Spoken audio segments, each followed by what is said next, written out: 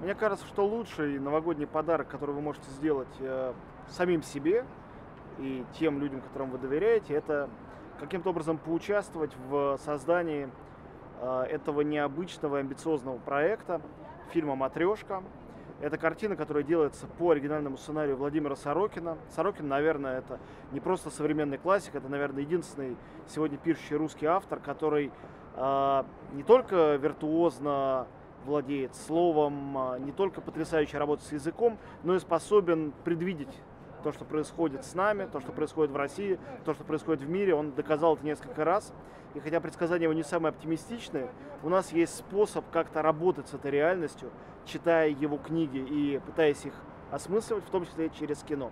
Уже несколько картин было сделано по сценариям Сорокина, но ни разу не было еще полноценной экранизации его книг.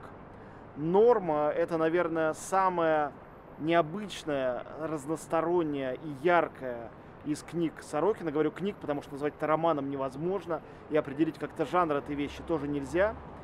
И мне кажется, что превращение хотя бы части этой книги в фильм – это задача по-настоящему такая по-русски безумная.